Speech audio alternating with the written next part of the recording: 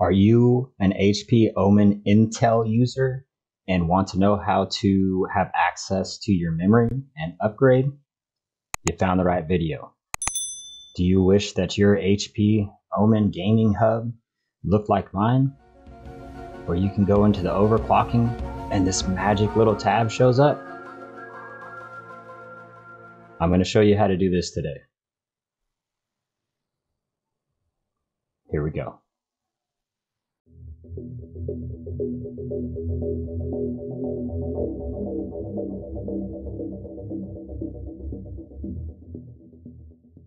What's up, everybody? It's JDW TV here, back again.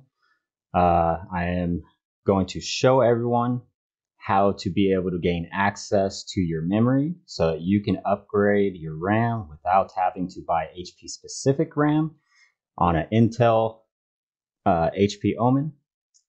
And I'm going to try to go through this as slow as I can so that you guys can follow along and it will be very simple for you, even though it's extremely difficult for me.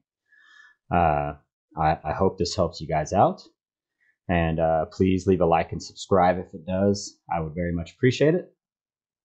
And if you if you notice at the end of the video, I will be in a different shirt than the beginning. Yesterday I recorded the whole thing as I did it on my computer, and unfortunately my computer uh, you have to restart your computer at one point, and I forgot to stop my recording first, and I lost all the footage. So I'm going to walk through you walk you through this the best I can, and uh, I apologize that I lost the first half of the footage and have to do this in a, a reverse type action. But just follow along; you'll still be able to do it just fine. It's it's not too bad. Just just follow along, and if you have any issues, let me know. All right. First thing you're going to want to do is you're going if you have next uh, NZXT uh, CAM software on your computer that monitors your temperatures, you're going to need to erase that app first because uh, that works along with the XTU software and will not allow you to do the process properly. So just go ahead and erase that. Second thing you're going to do, come over here to Device Manager and your search, be nice and easy to find. Go to Software Components and when you scroll down, you're going to see all these Intel XTU component devices, right? Go through one at a time, right click, un- uninstall device. It'll ask you if you want to erase all the software associated with it. Click the box, box yes, uninstall. Do not restart your computer when it asks you if you want to restart. Go ahead and go through each one, uninstalling each one. Okay. Do not restart your computer because you got more stuff to do. So just tell it no when it asks you. Once you install every single one of these, then you're going to want to open up this here. You're going to want to go into your Windows C file or your hard drive, sorry, uh, program files. And right here it'll be an Intel. And you should see an Intel XTU Extreme Tuning underneath this Intel R chipset device software folder you're going to want to erase that folder. Okay, and then close this down. Uh, after that, you're going to want to go right here, type in reg, registry edit editor should come up. This is the part of the video you really need to be careful. Take your time.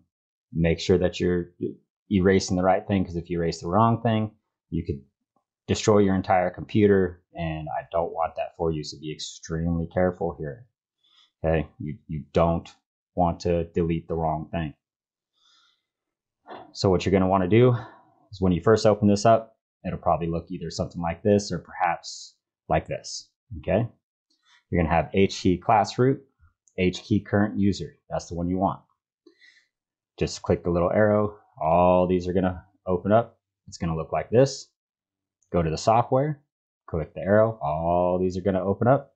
Find Intel Okay. Open it up.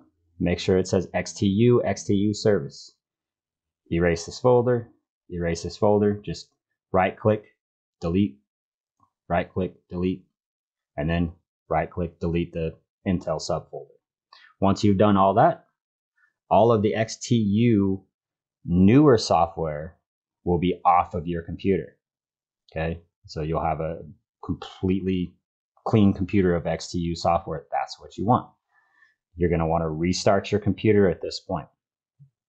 Once you restart your computer and it boots back up, go to Microsoft Explorer or whatever browser you use, it doesn't matter. Just type in older version Intel XTU. Okay, if you want to be extremely specific, it's 6.5.2.38. Okay, once you open it up, it's going to come up 6.5.2.40 download. Same thing, it's fine. Get it from TechSpot. It's a trustworthy site to download it. You'll be safe. Go ahead and search it yourself to make yourself feel good. You know, I did. Click download. It'll download.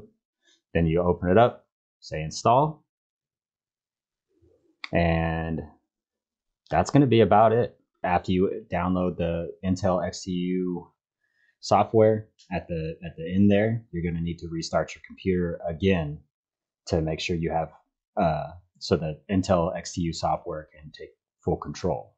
So after you download the XTU software, just restart one more time. So you'll be restarting your computer twice during this program, twice. Okay, now after all that fun stuff, we are back. And as you can see in our Omen Gaming Hub, we now have control of our memory. You can add new memory in there, upgrade it. It's fantastic. Who's your boy?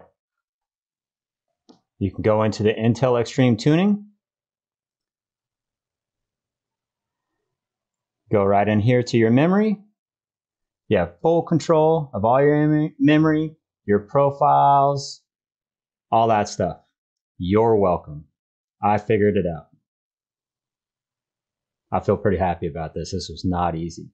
Now, look, if if you have trouble doing this, it you need to make sure that you have all the old drivers off your computer. It can be very difficult sometimes if you're running issues please just send me a message, you know, leave a comment. I will walk you through it. And you can get this done on your Intel Omen and not deal with their stupid thing trying to stop you. You're welcome. Please, please help your buddy out. Subscribe, like. We'll talk to you next time.